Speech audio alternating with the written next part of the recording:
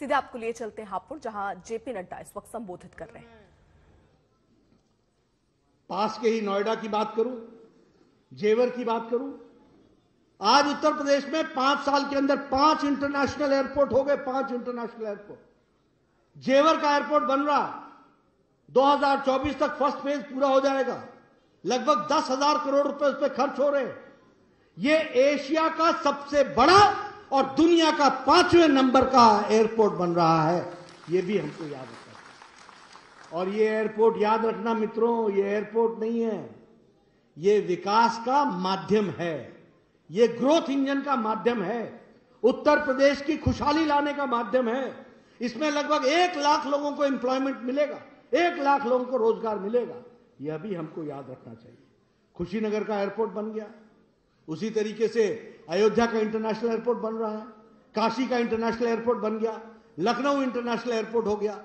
यानी छोटी सी अवधि में पाँच एयरपोर्ट इंटरनेशनल हो गए हैं यह भी हमको ध्यान रखना expressway Purvanchal expressway जो लखनऊ से गाजीपुर, बुंदेलखंड से इटावा, बुंदेलखंड एक्सप्रेस वे इटावा से Chitrakoot, Gorakhpur link expressway Gorakhpur से आजमगढ़, और गंगा एक्सप्रेसवे जो पाँच किलोमीटर का है, बन रहा बनेगा, छह लेन होगा, सैंतीस हज़ार तीन सौ पचास करोड़ रुपए इसमें खर्च होंगे। और यह मेरठ, हापुड़, बुलंदशहर, उन्नाव से प्रयागराज को जोड़ेगा। ये ये एक्सप्रेसवे बनेगा।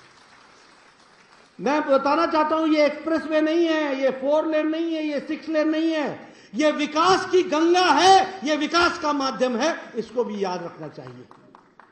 एक नए तरीके से उत्तर प्रदेश है, बढ़ता हुआ उत्तर प्रदेश अब बेनीवाल जी हैं, ये हमारे राजेंद्र जी हैं।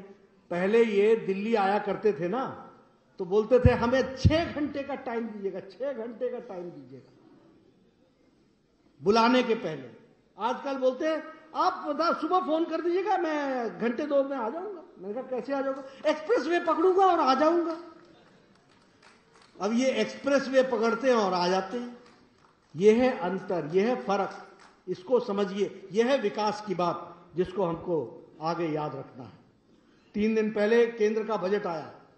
साठ लाख नौकरियों का एम्प्लॉयमेंट की जनरेट होगा सिर्फ़ प्रोडक्शन लिंक इंसेंटिव्स के माध्यम से। 60 लाख प्रोडक्शन की दृष्टि से होगा।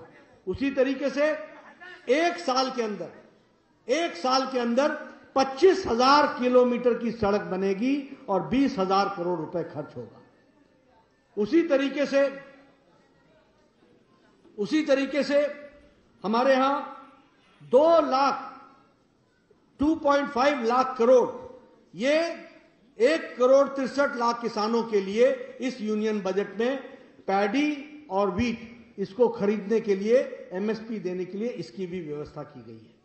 हर घर जल पहुँचे इसके लिए साठ हज़ार करोड़ रुपए रखा गया है और अस्सी लाख रुपए नए घर बनाने के लिए अड़तालीस हज़ार करोड़ रुपए इसके लिए भी रखा गया है।